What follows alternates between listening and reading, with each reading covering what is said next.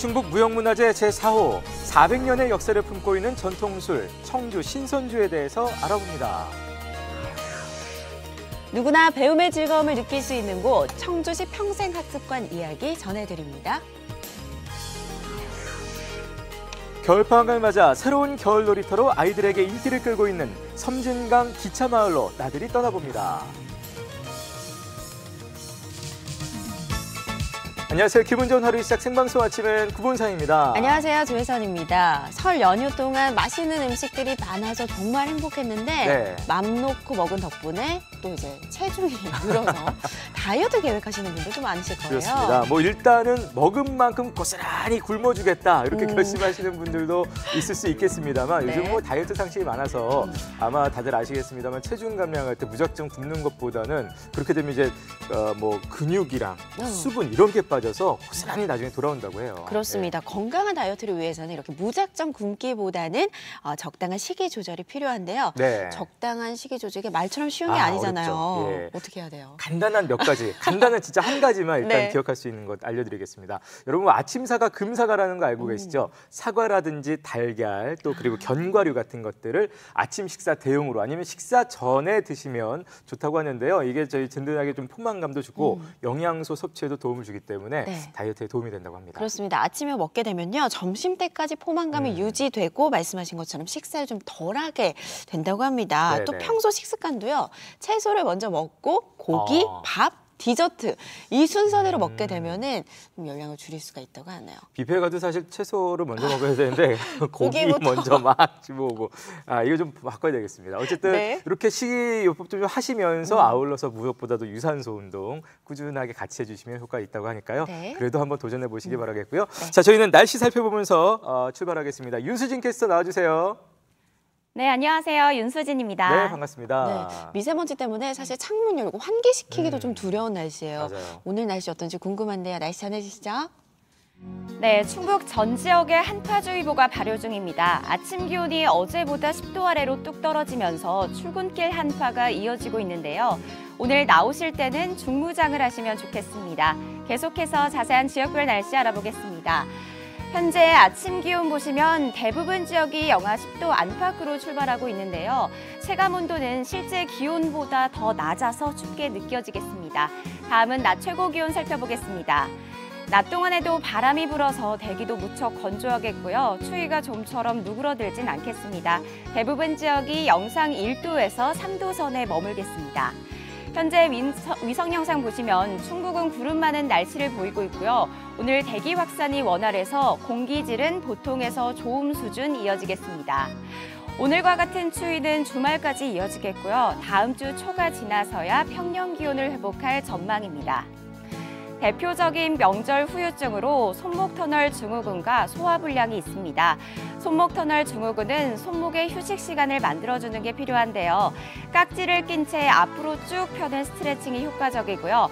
소화불량은 제때 치료하지 않으면 만성질환이 될 수 있습니다. 소화가 잘 되는 반찬 위주의 식사를 하시면 좋겠습니다. 지금까지 아침엔 날씨와 생활정보였습니다.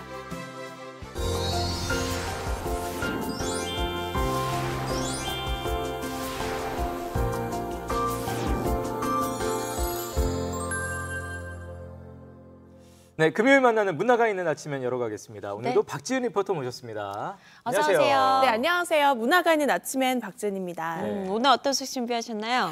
모두들 설 명절 잘 보내고 오셨죠? 네. 네, 온 가족이 모이는 설 명절에 빠질 수 없는 것이 있습니다. 음. 바로 크, 전통술입니다.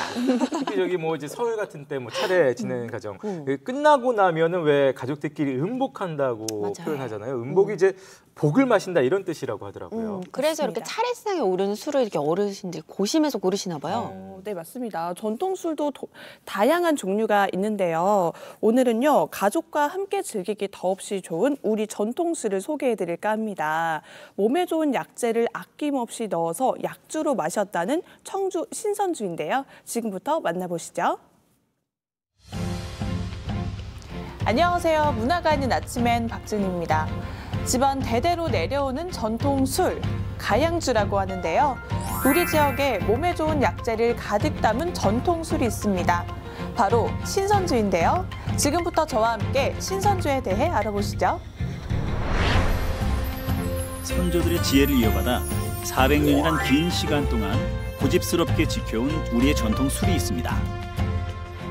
보약에 버금가는 좋은 재료와 정성 어린 손으로 빚어낸 청주 신선주 이야기 지금 함께 하시죠.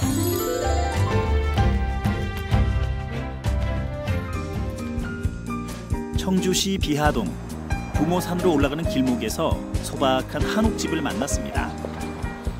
어릴 적 할머니 댁이 생각이 나는 정겨운 시 풍경인데요. 어떤 곳인지 제가 한번 들어가 보겠습니다. 현암제라는 이름의 이곳 대문을 넘자 정갈한 마당과 마주합니다. 한 귀퉁이 옹기종기 모인 장독대며 아궁이들이 눈길을 끄는데요. 안녕하세요. 여기 이름이 현암제 맞나요? 네, 현암제입니다. 어떤 곳인가요? 아, 여기는 그 충북 무형문화재 사호 신선주 그 연구소 겸 그 이제 발효 문화 공간. 네. 어, 그러니까 술을 만드는 공간이라는 거죠. 네네. 어, 신선주요? 신선주가 뭔가요? 여기 충, 청주에 보면 미원 지방에 그 물이 좋기로 소문난 동네가 있었어요. 어, 그 동네에서 어, 저희 선조 때부터 400년간 내려오는 함양박 씨 집안의 가양주입니다. 아, 집안에서 내려왔던 전통주라는 말씀이시죠? 네네. 신선주는 함양 박씨 문 중에서 18대에 걸쳐 지켜온 가양주입니다.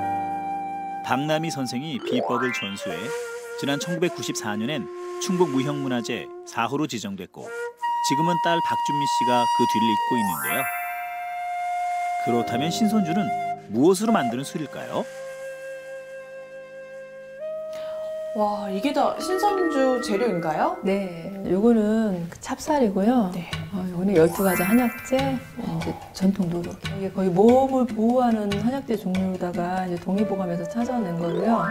요 인삼하고 지골피, 이 국화, 감국화, 하수, 구기자, 어, 숙지왕, 생지왕 이렇게 그 외에도 뭐 몇 가지가 더 들어가고 있습니다. 야, 인삼, 구기자 뭐 12가지가 들어간다고 네. 하니까 술 재료가 아니라 보약 재료 같아요. 아, 그렇죠. 이제 보양주로 집에서 조금씩 해서 잡수셨던 거예요. 음. 저희 그 고조부께서 이제 기록해 놓으신 그 현암시 문학지 그 뒤편에 보면 뭐 신선주를 복용하면 뭐 능변백반, 뭐 반동한론이라는 그런 이제 좋은 글귀가 들어가 있어요. 오, 네. 그래서 백발이 좋고 그리고 또 이렇게 변비 제거에 좋고 이게 또 아동처럼 시 늙지 않는다 뭐 이런 뜻이 담겨져 있더라고요. 그래서 그런지 모르겠지만 그 집안에서 거의 식전주로 식사하시기 전에 한 잔씩 이렇게 응용을 했었습니다. 네. 그야말로 약이 되는 술이라 여기엔 보이지 않는 시간과 정성이 필요하다고 합니다. 이제 신선주 만드는 과정을 한번 알아볼까 하는데요. 네. 재료도 중요하지만 과정에서도 비법이 있을 것 같아요. 예, 물론 좋은 한약재도 쓰고 있지만 처음 이제 그 쌀을 갖다 씻는 과정인데 이건 정말 비법인데요. 어, 네. 어, 정말 맑은 물이 나올 때까지 그 100번 정도를 씻어야 된다는 백세라고 하는 게 있어요. 예, 그 방법을 이용해서 술을 빚고 있어요. 어, 쌀을 100번을 씻는다고요? 네. 와, 정말 정성이 참 많이 들어가네요. 쌀을 깨끗하게 씻는 것부터 시작하는 술 빚기. 마치 아이의 머리를 쓰다듬 듯 과정 하나하나 허투루 할 수 없습니다. 신선주에 들어가는 이 찹쌀 네. 구입하시는 게 아니라고요? 네, 이거는 저희 고향 미원에서 어, 밀하고 밀농사하고 쌀농사는 저희가 직접 짓고 있습니다. 직접 농사지은 좋은 쌀. 잘 씻고 난 후에는 시루로 옮겨 고두밥을 찌는데요. 그 옛날 선조들이 해왔던 전통 방식을 그대로 따르고 있습니다. 불을 지피기 전 뚜껑을 닫고 해야 할 일이 한 가지가 더 있다는데요. 밀가루 반죽 아닌가요? 밀가루 반죽 붙이시네요? 네, 이거 시루번이라고 하는 건데요. 밑에서 끓는 물이 수증기가 빠져나가지 말라고 네, 단단하게 열어줘야 돼요. 어, 그렇구나. 아궁이에 불을 지핀 지 40여 분. 뽀얀 김을 뿜어내는 시루가 정겹습니다. 드디어 때가 되어 뚜껑을 여는데요. 밥 중에 고두밥이 제일이라는 박준미 씨. 한술 떠 맛을 보니 역시 딱 알맞게 지어졌습니다. 술 이름이 신선주잖아요. 네. 왜까 생각을 해봤는데 옛날에 신선들이 풍류를 즐기면서 마셨나 이런 생각이 들었어요. 맞나요? 맞, 네, 맞습니다. 예. 저희 그 시골에 보면 그 미원에 보면 신선봉이라는 데가 있어요. 어, 신선봉. 네, 예, 저희 이제 주산인데 어, 거기 보면 옛날 신라 시대 최초원 스님이 그 여러 선비들과 그곳에 오셔갖고 음. 글을 쓰시면서 신선주를 즐기셨다고 합니다. 아, 그랬군요. 네. 아, 그런 이야기를 듣다 보니까 이 술이 정말 오래됐네요. 그렇죠. 언제 어떻게 만들어졌을까요? 아, 저희 선조로부터 그 박송탕 할아버님께서 충청도 도사로 내려오셔갖고 그때부터 술을 빚기 시작하셨다고 합니다. 400년을 이어온 전통 그대로 김이 폴폴 나는 구두밥은 면도를 깔고 그 위에 골고루 펼쳐줍니다. 술을 만드는 데 꼭 필요한 효모가 좋아하는 온도로 식히는 과정이라고 하네요. 그냥 먹어도 참 맛있는 구두밥. 이제 본격적으로 술이 되기 위한 준비를 합니다. 고두밥에 구기자, 임삼, 숙지황 등 12가지 약재와 누룩을 섞어 손으로 잘 치대야 하는데요. 너무 세지도 약하지도 않게 적당한 힘으로 죽의 질감이 나도록 30분 넘게 치대줘야 한다네요. 오로지 사람의 손으로 해야 하는 일이라 결코 쉽지만은 않습니다. 발효를 위해 항아리에 옮겨 담은 다음에는 기다림과 인내 시간이 시작된다는데요. 아, 이렇게 술을 항아리에서 발효를 하나 봐요. 네. 어, 얼마나 오래 발효를 하면 되나요? 아, 이거는 지금 이제 밑술이라고 해서 그 씨앗술 개념이에요. 그래서 어, 이게 한 3일 정도 되면 이렇게 끓기 시작을 하면 다시 덧술이라고 해서 조금 전에 한 것처럼 고두밥을 다시 쪄서 그때는 누룩 안 넣고 얘를 어떤 쏟아서 밑술을 쏟아서 같이 이제 그 밑술하고 같이 이제 혼화 작업을 해요. 음. 그리고 다시 놓고 또 3일이 지나면 또 한번 고두밥을 쪄서 어. 이제 이 항아리 있는 덧술 첫 번째 덧술하고 같이 섞어서 또 혼화 작업을 다시 또 해요. 음. 그렇게 하고 나서 어, 다시 3일 정도가 지나면 또 얘가 또 끓어요 같이 이제 세 개가 합친 거잖아요 항아리 세 개가 네. 끓고 나면 저울에다가 이제 100일 정도 장기 숙성을 합니다. 어, 100일이나요? 네네네. 발효를 세 번이나 거치는군요. 네, 정말 손과 정성이 많이 드네요. 그렇죠. 쌀 한 톨 남김없이 항아리에 담는 두 사람. 기다림 또한 술을 만드는 이들에겐 행복이자 설렘이라고 하죠. 발효실에서 100일간의 숙성 기간을 거치면 약주가 완성된다고 하는데요. 방안 가득 퍼지는 은은한 향과 보글보글 맛있는 술 익는 소리 들리시죠? 이렇게 발효 과정을 거친 후 지게미를 걸러 숙성된 술을 모아 소주꼬리로 증류시켜야 비로소 함양 박씨 집안의 신선주를 맛볼 수 있습니다.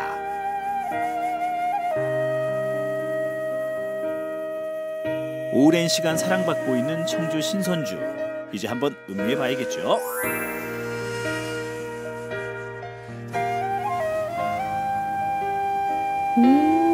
기분 좋은 향 맛은 어떨지 궁금합니다.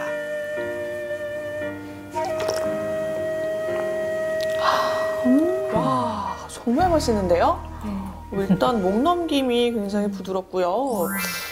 건강해지는 맛이에요. 독하다 이런 느낌이 아니라 어, 건강해지면서 즐길 수 있는 그런 술. 이게 그 자연 발효를 한 거고 첨가물이 안 들어간 술이라 네. 사실 도수에 비해서 맛을 보신 분들이 굉장히 도수가 낮은 줄 알고 있어요. 근데 음. 사실은 시중에 나온 소주보다는 도수가 더 높은 술입니다. 어, 정말요? 네, 어, 이게 몇 도예요? 20도 약재예요. 어, 그런데 독하다는 느낌보다는요 깨끗하게 넘어가는 느낌이에요. 네. 네, 그렇죠. 숙질 또한 없습니다. 음, 전통주가 참 좋네요. 네. 취하기 위한 술이 아니라 건강을 위해 좋은 약재들로 담기 시작한 것이 신선주의 출발. 그런 신선주가 한때 사라질 위기를 겪기도 했다는데요.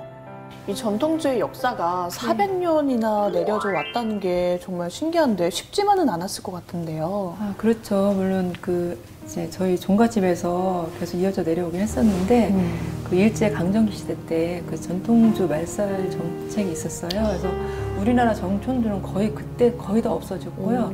그 주세법을 높여나갔고 그, 그 웬만한 양조장에서는 술을 판매를 할 수가 없었어요. 근데 그런 와중에도 어, 저희 집안에서는 이제 할머니께서 계속 이제 몰래 술을 빚으시고 또 이렇게 제주를 많이 써야 되니까 이제 아버지한테 들어보니까 정말 그 술을 빚어서 막 땅 속에다도 항아리를 파묻어놨었고 헛간에 이렇게 나무 이렇게 볏집 안에도 막 숨겨놓고 그렇게 했었다고 하시더라고요.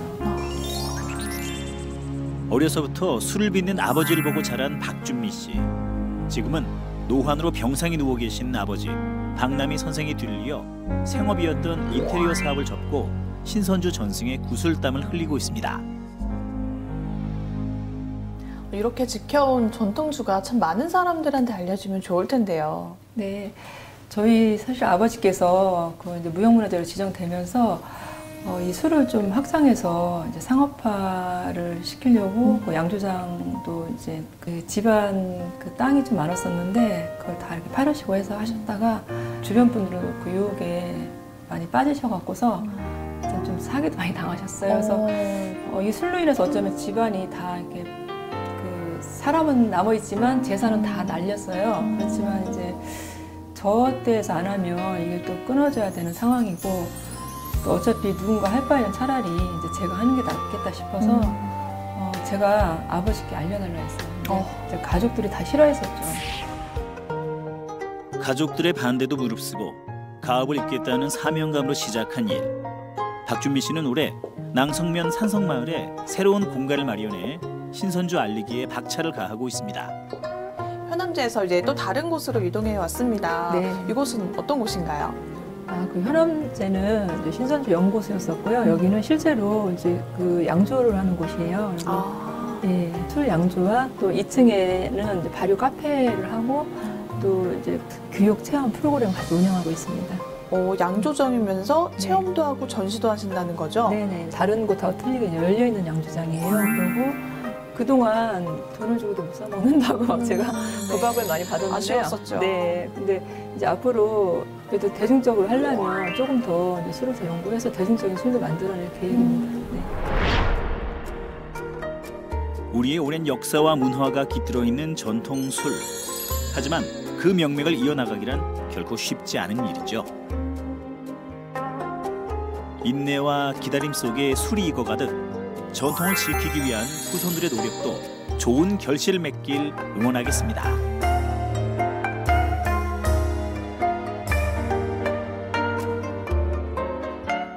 네, 청주 신선주 만나봤습니다. 네. 무려 400년을 집안 대대로 이어온 술. 이게 무엇보다도 옛날 그 정말 우리가 알 수 없는 그 옛날 사람들도 이걸 똑같이 마셨다고 생각하니까 더 왠지 신기하고 그런 느낌인데요. 네. 꼭 한번 마셔보고 싶어요. 그렇죠. 제가 마시고 왔잖아요. 네네네. 어, 도수가 좀 있는데요. 네. 세다는 생각이 안 듭니다. 그만큼 깔끔하고 목 넘김이 부드러워요. 네네. 그래서 건강해지는 기분까지 듭니다.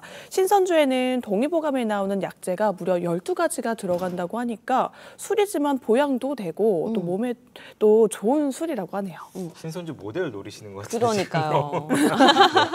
쌀을 이렇게 100번이나 씻어낸다고 하니까 뭐 그러니까요. 좋은 재료도 좋은 재료지만 역시 정성이 정말 중요하구나라는 생각이 들어요. 네, 맞습니다. 전통을 지키는 일이 정말 쉽지 않은 일인 것 같아요. 쌀도 100번이나 씻어간다는 게. 네네. 그래서 박준미 이수자가 아버지 박남희 전수자의 뒤를 잇는다고 했을 때 가족들의 반대도 정말 심했다고 하는데요.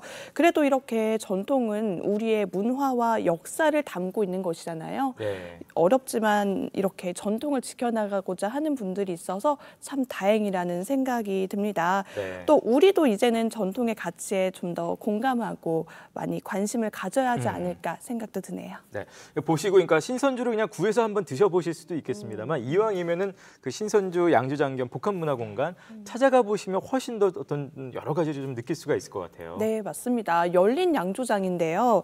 이곳에 가시면 신선주의 역사 그리고 신선주가 만들어지는 과정 모두 다 보실 수 있으니까 꼭 한번 가보셨으면 좋겠습니다. 또 차차 방문객들을 위해서 체험 프로그램도 운영한다고 하니까요. 네. 이곳은 양조장은 상단산성 근처에 있습니다. 그래서 주말에 나들이 가시면서 상단산성도 들렸다가 네네. 옆으로 양조장도 가보시면 가족끼리 아주 좋은 추억이 되지 않을까 생각이 드네요. 네, 오랜 역사와 문화를 담고 있는 우리의 그 전통술이죠. 청주 신선주가 앞으로 대중에게 더욱더 가깝게 다가가기 위해서 네. 시판용으로도 나온다고 합니다. 여러분들도 전통술에 대한 관심 좀 가져주시면 좋을 것 같아요. 네. 자, 오늘 소식 감사합니다. 이따 뵙겠습니다. 네. 예. 자, 저희는 바로 이어서 아침엔 퀴즈 나가겠습니다. 네, 오늘의 문제는요. 다음 중 우리나라 전통술이 아닌 것은 무엇일까요?입니다.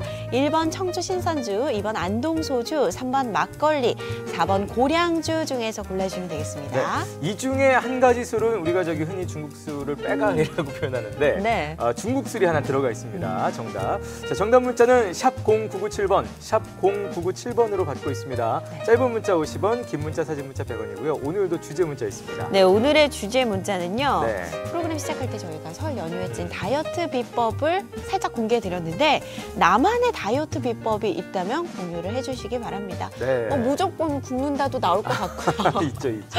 식이요법 하시는 분들도 계실 것 같고 운동 하시는 분들도 있으실 것 같은데 다 좋습니다, 여러분의 나만의 다이어트 비법 보내주시면 되겠습니다. 지금 바로 보내주세요.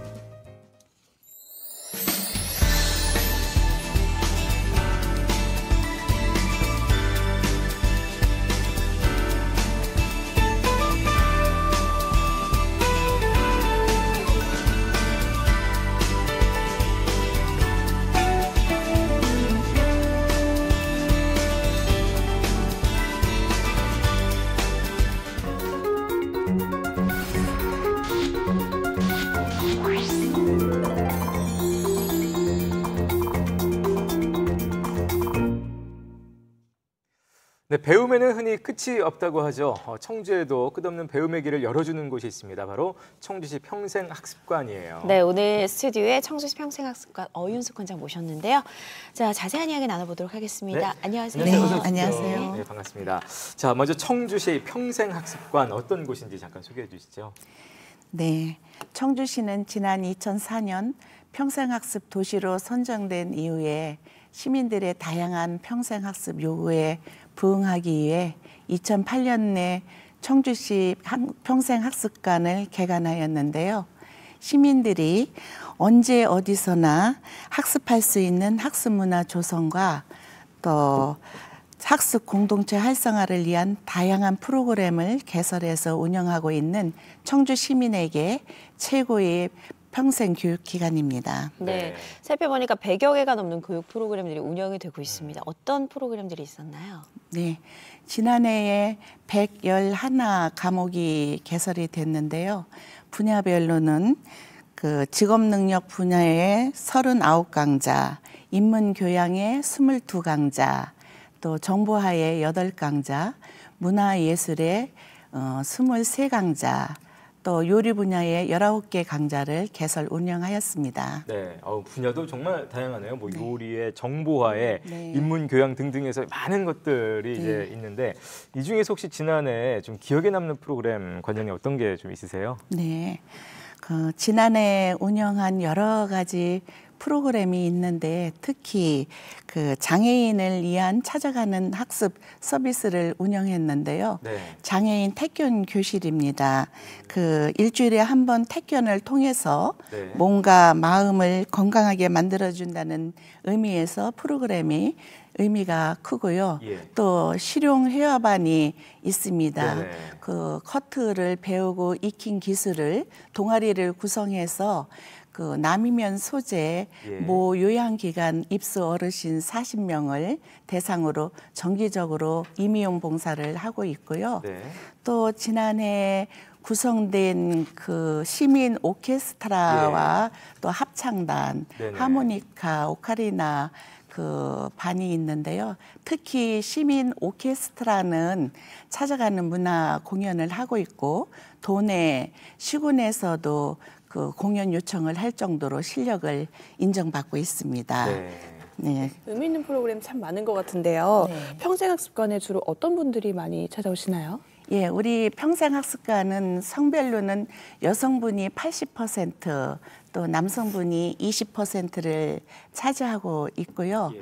또 연령대는 30대에서부터 60대까지 어, 골고루 분포를 보이고 있습니다. 예. 예, 또 주, 주간반은 주로 퇴직자나 주부들이고 또 야간반은 직장인들이 많이 참여하고 계십니다. 네.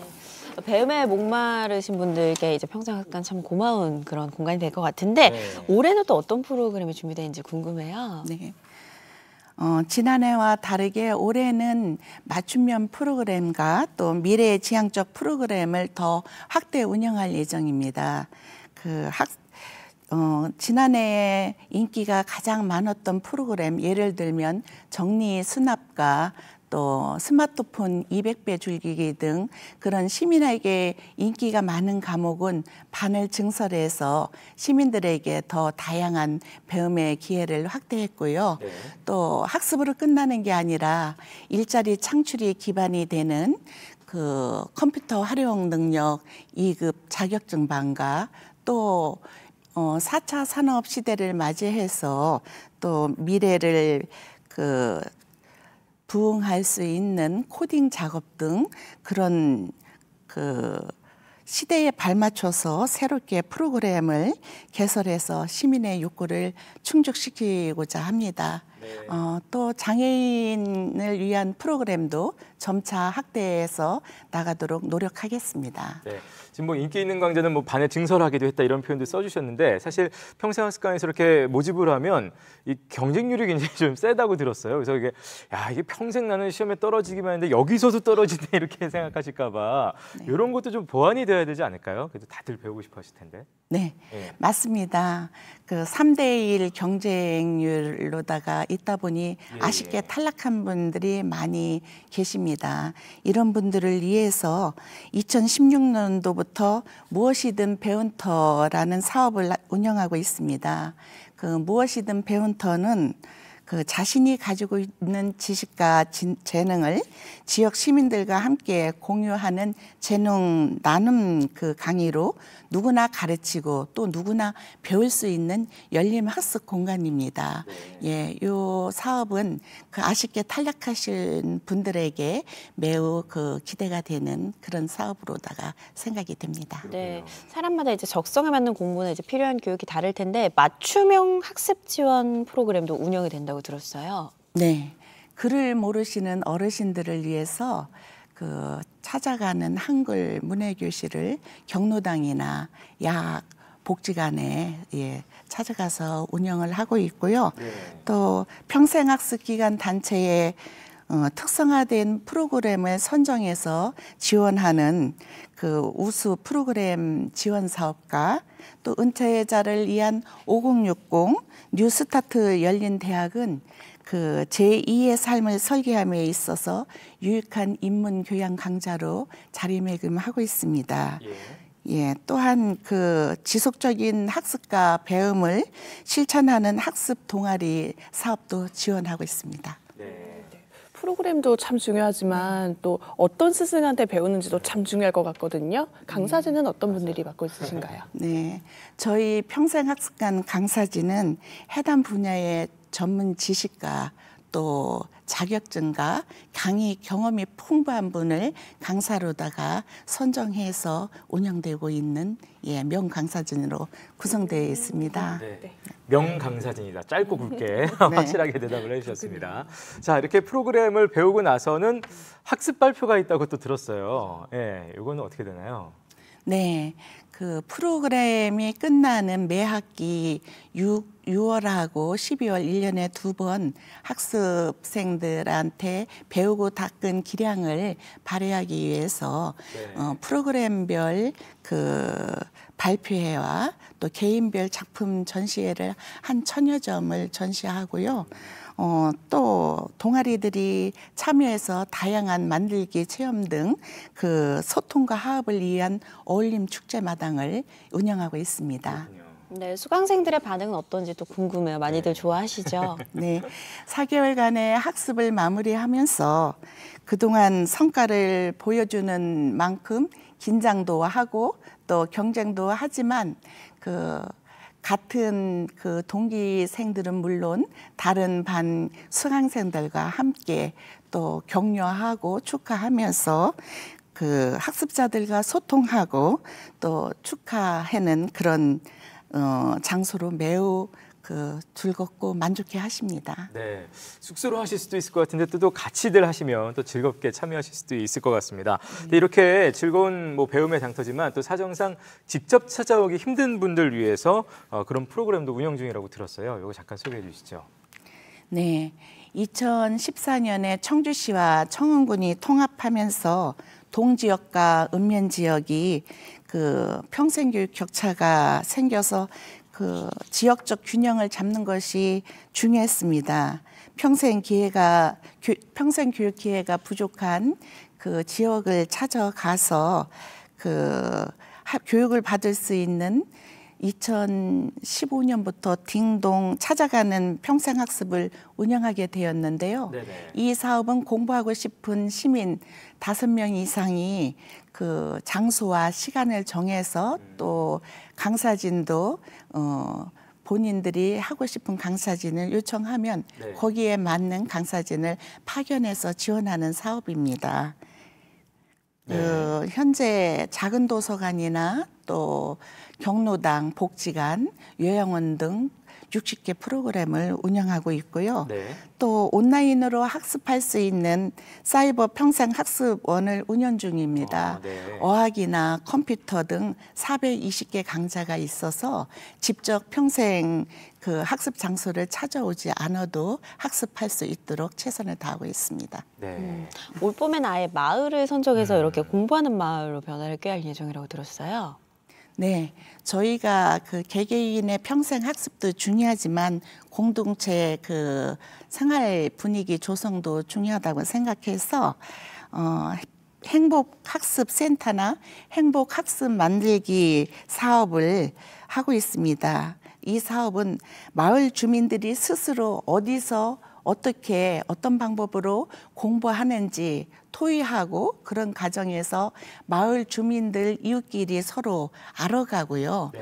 어, 그다음에 또 마을 일도 공유하면서 문제 해결을 위해서 어, 점차 점차 마을이 그 평생 학습을 통해서 더 살기 좋고 즐거운 마을로다가 그 변하는 것을 목표로 하고 있고 또 실제 그런 일들이 일어나고 있습니다. 네. 지금 말씀 듣다 보니까 진짜 그야말로 누구든지 아, 배움의 길에 이제 들어설 수밖에 없게 아, 그렇게 지금 프로그램이 잘 짜여져 있는 것 같은데요. 이제 2월이면 본격적으로 수강 신청이 시작이 될 것 같습니다. 아, 방법 잠깐 알려주시죠. 네, 금년 상반기 수강 신청이 2월 7일 어제부터 시작이 되었고요. 접수 마감은 2월 12일까지며 어, 우리 청주시 평생학습관 홈페이지를 통해서 1인 2과목까지 수강을 신청하고 할 수 있습니다. 그 수강료는 모든 과목이 동일하게 월 만 원으로 되고요. 또 그 온라인에서 수강 신청이 어려우신 분들은 방문해 주시면은 저희가 신청을 도와드리겠습니다. 또한 장애인이나 국가유공자 또 한부모 가족이나 기초생활수급자 등 그런 분들에게는 증명서를 가져오면은 무료로 수강할 수 있습니다. 네. 아, 뭐 마지막으로 말씀 짧게 이제 끝날 때 다 되는데요. 짧게 부탁드리겠습니다. 네, 사회 변화가 급속도로 변, 어, 변화되고 있습니다. 백세 시대가 벌써 체감이 되고 생활 양식과 의식도 변해서 세대 간 격차도 깊습니다. 그리고 눈앞에 닥쳐온 4차 산업대 혁명에 대해서 기대와 걱정도 많습니다.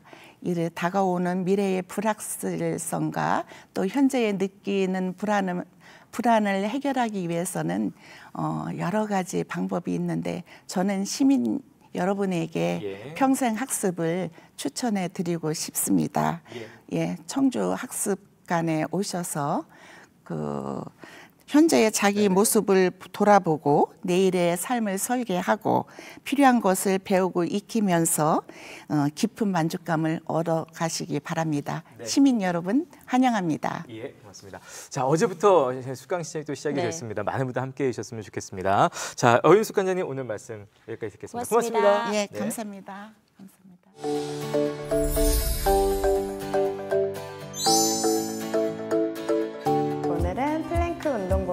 4단계 강도 높고 코어와 어깨 주변 근육을 강하게 자극시켜 줄 수 있는 동작 shoulder tap 배워보도록 하겠습니다. 매트 끝에서 무릎을 꿇고 동작 시작하도록 할게요.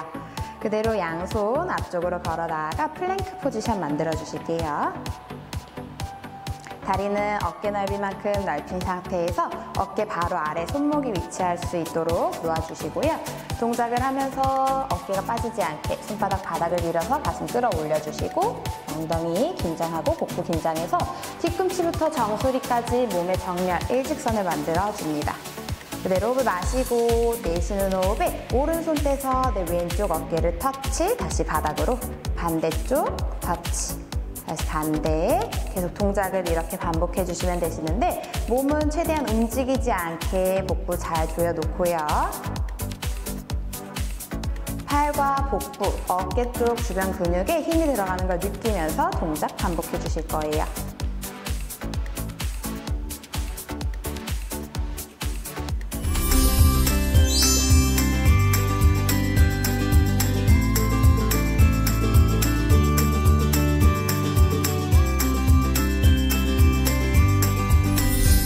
몸통이 흔들리지 않게 잘 잡아주시고 코에 힘이 잘 들어가는 걸 느껴주실게요.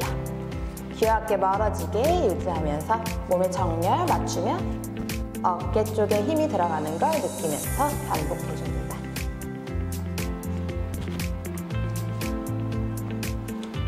다시 제자리 돌아 무릎을 꿇고 입을 뒤꿈치에 붙이며 올라와서 동작 마무리 해주실게요.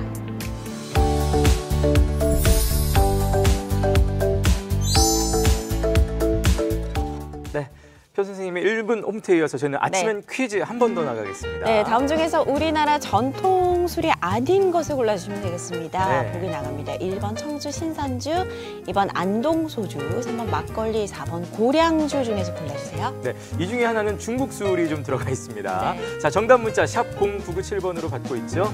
어, 짧은 문자 50원, 긴 문자, 사진 문자 100원의 정보 있고요. 오늘도 네. 주제 문자 있습니다. 오늘의 주제 문자는요. 나만의 다이어트 비법 함께 네. 남겨주시기 바랍니다. 오늘 저희가 보기로 술을 쫙 내드렸는데 일단 술만 끊어도 다이어트가 된다. 그러니까요. 이렇게 보내주실 분도 있을 것 같아요. 네. 정답 문자 함께 지금 바로 보내주세요.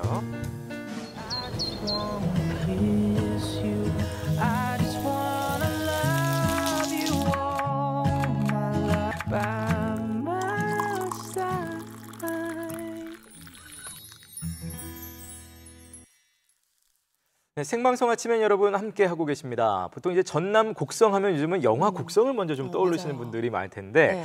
이 곡성이 사실은 심청이의 고향이기도 하다고 하고요. 그리고 얼마 전부터 우리나라에선 유일하게 이것을 탈 수 있는 그런 곳이기도 합니다. 이것이요? 네네. 탈 수 있다고 하는 유일하게. 거 보니까 예. 뭔가 기차 이런 건 것 아, 같은데 어, 거의 비슷하게 왔네요. 뭔가 되게 예. 보통 기차는 아닐 것 같아요. 보통 기차는 아니죠. 오. 이곳을 가시면 곡성 가시면 네. 관광용 증기기관 열차를 타실 수가 있는 기차역이 있다고 합니다. 그래서 섬진강 기차마을로 이렇게 불리고도 있는데요. 또 겨울방학이잖아요. 겨울방학 맞아서 아이들이 또 신나게 뛰어놀 수 있는 겨울 놀이터로도 변신을 했다고 합니다. 어떻게 에, 변했을지 함께 만나보시죠.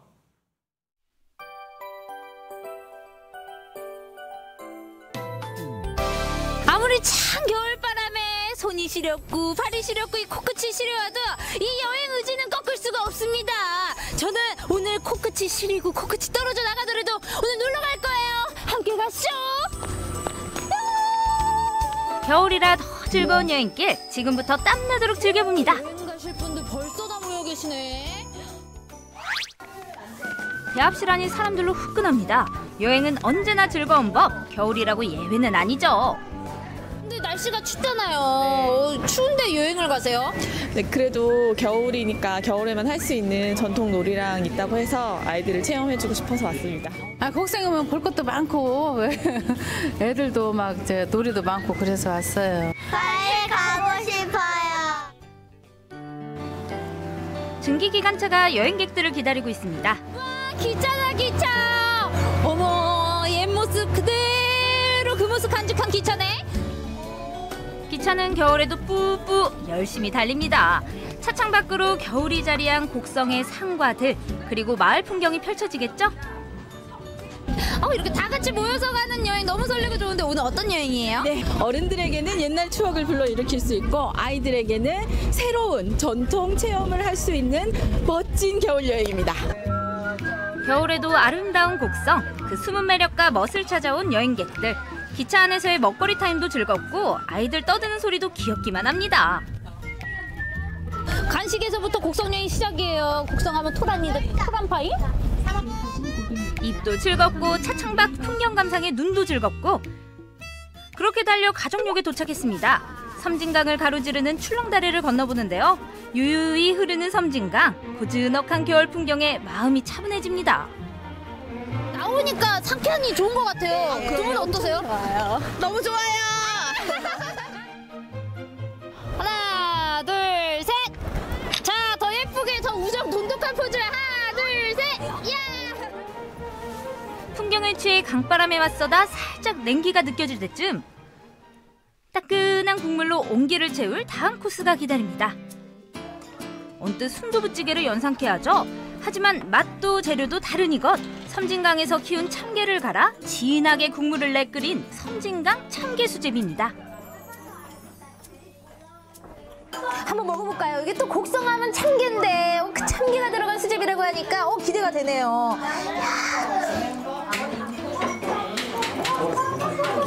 아 국물 맛이 너무 시원하다. 음. 여행의 시작은 배부름에서부터. 아우. 보기만 해도 온몸이 뜨거워지는데 올겨울 추위 이제 끄떡 없겠습니다. 뜨끈하고 얼큰한 맛에 약주 좋아하는 남자분들도 딱 좋아하겠더라고요. 아, 담백하고 또 칼칼하기도 하고 처음 먹어봤는데 정말 맛있네요. 어떻게 기운 좀 나실 것 같은데.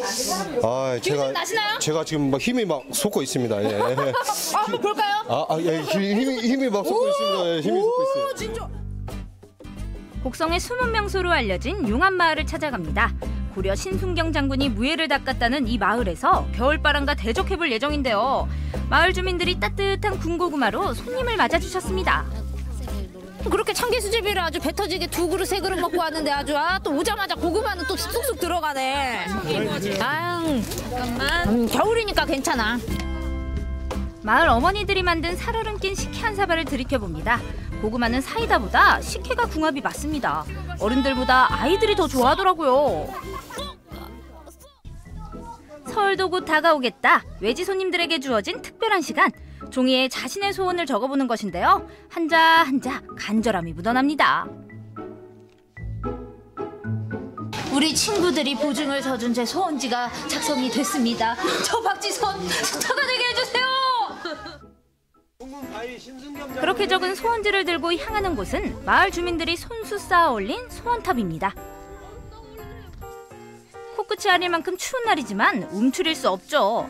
정월초에 돌탑 금줄에 소원지를 걸어두었다가 대보름에 태우면 소원이 이루어진다네요. 뭐라고 적었어? 소원 알려줄 수 있어? 오래오래 행복하게 우리 가족이랑 같이 살게 해달라고요. 어, 효자야. 우리 가족들 생각하는 효자여들. 새해 복 많이 받으시라 따뜻한 마음이 담긴 소원 대보름에 태워주신다 했으니 꼭 이루어질 거라 믿습니다. 설을 앞둔 만큼 마을 어르신들께 세배는 드려야죠. 새해 복 많이 받으세요. 똘망똘망한 아이들이 친손주 보듯 반갑습니다. 성질이 그 건강히 커갖고 부모님한테 효도고 공부 잘하는 것이 제일 중요해요. 아주 많은 꼬마 아이들이 와가지고 새해 복 많이 받으라고 절을 하네. 기분 너무 좋으시겠어. 아유 기분 아주 그냥 마음이 그냥 여기서 살면 좋겠어 애기들 그렇게 너무 좋고 반가우세요. 반가워. 어찌 그리 반가울까? 늙은 게 손녀들이 그냥 손녀들 생각하지 반갑지 자, 이제부터 제대로 한번 놀아볼까요? 이런 소나무를 가져 산에서 비우다가 직접 낫으로 깎아서 일단 못을 박아서 팽이치기를 하고 있었어요. 이렇게 살살 어려워요? 자 연필 깍대기 깎으면 됩니다. 연필 깍대기. 이장님처럼 낫질이 연필 깎듯 쉬울 리가 없죠. 손에 익숙지 않은 낫을 들고 살살 조각하듯 조심스럽습니다. 어, 어쩜 이렇게 예쁘게 깎아요? 아이, 낫이 잘 들어요. 아. 아니 그리고 직접 이렇게 팽이 만들어 본 적 있으세요? 아이, 없어요. 처음이에요. 어, 어떠세요? 재밌네요. 깎는 재미에 아이들도 나섰습니다. 위험한 낫이지만 친척한 모습이 듬직하더라고요. 아주 강인하네. 어. 몇 살? 몇 살입니까? 이제 13살 됐습니다. 야, 13살짜리가 아주 야무지게 아주 낫으로 팽이를 깎는데. 네. 아, 해본 적 있어요? 예, 많이 만들어 봤어요. 어, 진짜요? 팽이 말고 다른 거요. 아우, 뭐 다른 나무를 깎아본 경험이 있다. 네. 아우, 그래 나름 꽤나 지금 잘 깎고 있는데 힘들진 않아요? 힘들어요. 힘들어요? 척추가 아파요. 척추가 아파? 팔도 아니고 척추가 아파요? 아니, 그래도 친구랑 같이 하니까 재밌죠? 팽이 해보니까 어떤 점이 재밌는 것 같아요? 내가 이렇게 열심히 깎고 팽이를 돌릴 생각을 하니까 너무 좋아요 기분이. 어, 이 친구 왠지 팽이도 잘 깎았으니까 팽이도 잘 돌릴 것 같아요. 좀 이따 기대할게요. 다시 깎아! 다시 해야지! 열심히 해! 뾰족하게 다듬어진 나무를 톱으로 잘라내고 끝에 못으로 심을 박은 뒤 색을 입히면 팽이 완성! 팽이채는 나뭇가지에 당나무 껍질을 단단히 묶어줍니다. 진짜 자연에서 온 자연 그대로의 팽이입니다. 야, 열심히 만들었는데 아우 이거 돌았을 때 아름, 아름다운 모습을 제가 보여드려야죠. 자, 처음이 중요해요. 자, 팽이를 치는 건지 날리는 건지 얻어맞은 팽이가 도망가는 모양새네요. 스냅을 자 하나 둘 셋. 와, 와 옆으로 구르네. 옆으로 구르네. 오, 와, 오, 오, 괜찮아요. 와, 찍으셨어요? 찍으셨어요? 마지막 한번될 수도 있었으니까 찍으셨어야 돼. 오, 제가 돌린 거 맞죠? 제가 직접 만든 팽이가 오 제대로 돌았습니다. 오, 나는 너무 좋아서 미쳐 돌것 같아. 오, 어떡해! 아, 좋아, 좋아, 좋아. 네, 팽이는 이렇게 치는 거죠. 방 안에서 가지고 노는 플라스틱 팽이 세대들이 겨울바람 속 팽이 치는 재미를 잘 배워갔으면 좋겠더라고요. 팽이 깎을 때는 엄청 힘들었는데 같이 노니까 재미있었어요. 마을 앞 공원은 겨울엔 놀이터가 됩니다. 바람이 잘 통하고 넓어서 연 날리기에 딱 좋은데요. 겨울 북풍을 타고 하늘 높이 연을 날리느라 손가락이 벌겋게 얼어가는 줄도 모르더라고요. 날씨는 추운데 친구들이랑 노니까 추운지는 모르겠어요. 저도 시골에 살았는데요. 예, 어렸을 때 애들 친구들이랑 연 날리고 팽이 돌리고 했던 기억이 새록새록 나네요. 재밌는 게 많아서 또 오고 싶어요. 산골짜기 마을에서 함께한 즐거운 겨울 여행. 코끝은 시려도 온몸에 복을 가득 담아오는 행복한 시간이었습니다. 고시리는 용한 마을로 놀러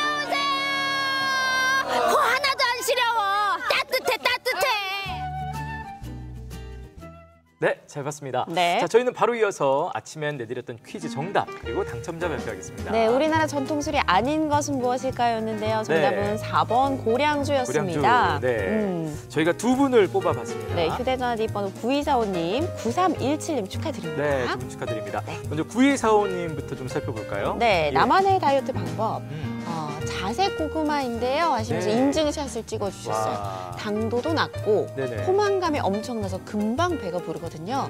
두 달 만에 15kg이나 와. 감량을 했다고요?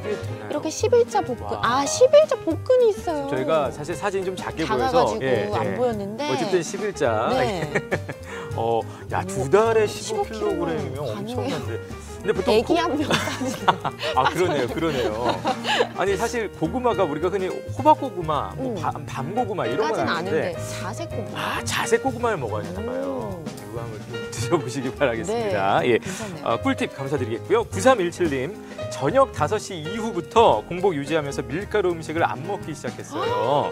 그랬더니 붓기도 덜하면서 두 달 조금 안 됐는데 2kg 정도 줄었다고. 요 정도면 이제 아 이게 상식적인 어떤 이거 킬로그램 근데 수가. 저녁 5시 이후에 안 먹는 것도 힘든데 밀가루. 밀가루를 끊는다는 건 그럼 뭘 먹어야 되나요? 아, 그럴 때 자색 고구마를 먹어야 되는구나. 아, 고구마. 그렇군요. 예. 아, 이제 9327 다이어트 하시는 분들 절대 네. 의지를 놓지 마시고 파이팅 하시길 바래요. 저도 파이팅 이렇게 덧붙여 주셨습니다. 네. 예.